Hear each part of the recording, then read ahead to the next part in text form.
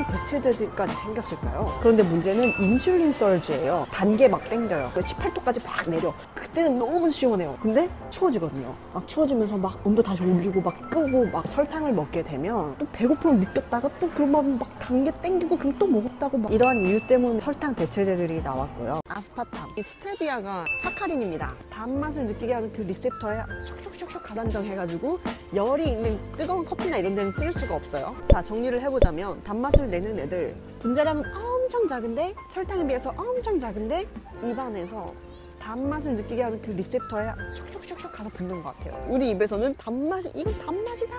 첫 번째 아스파탐 다이어트 콜라에 쓰인다고 했어요. 근데 이거는 아미노산이라서 열에 불안정해가지고 열이 있는 뜨거운 커피나 이런 데는 쓸 수가 없어요. 단맛은 엄청내. 두 번째로 사카린. 사카린 이거 위험한 물질 아닙니다. 당뇨병이나 비만이신 분들한테도 엄청 좋을 거예요. 설탕보다 300배 달아요. 열에도 굉장히 안정해서 뜨거운 음식, 뜨거운 커피에도 다 쓰일 수가 있어서 오케이. 그리고 천연당 중에서는 스테비아, 에리스리톨, 자일리톨 등이 있고요. 덱스트린 같은 거.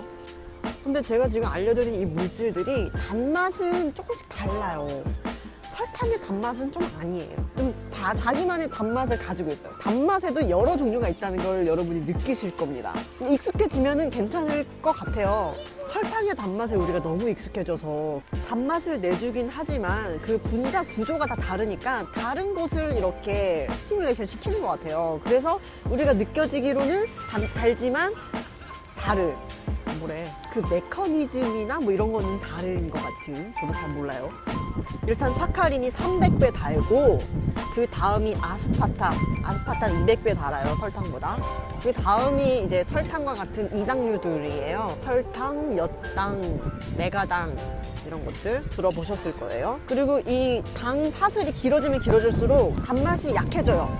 오히려 그냥 포도당은 설탕보다는 덜 달아요. 그냥 딱 순수한 포도당은 설탕 단맛의 75%입니다. 그리고 녹말 있죠? 탄수화물과 녹말. 걔네들은 전혀 달지 않습니다. 아니 근데 쌀밥 우리 씹어 먹으면 그거 끝에 단맛 나잖아요. 그거는 아밀라제에 의해서 얘가 조금 소화가 돼서 분해가 돼가지고 걔가 조금 달게 느껴지는 거예요. 녹말 자체는 달지 않아요. 선수화물. 혈당과 인슐린 의 수치를 오르락 내리락 거리게 만드는 이 설탕. 하지만 대체제들은 언제까지나 대체하는 제품이라는 것을 염두에 두시고 설탕 소비를 적절하게 조절합시다. 바람 왜 이렇게 많이 부는 거야? 렛에다가 사카린을 저용량부터 고용량까지 이렇게 실험 대조군을 만들어서 실험을 했는데 저용량에서는 암 발생률이 극히 드물었어요.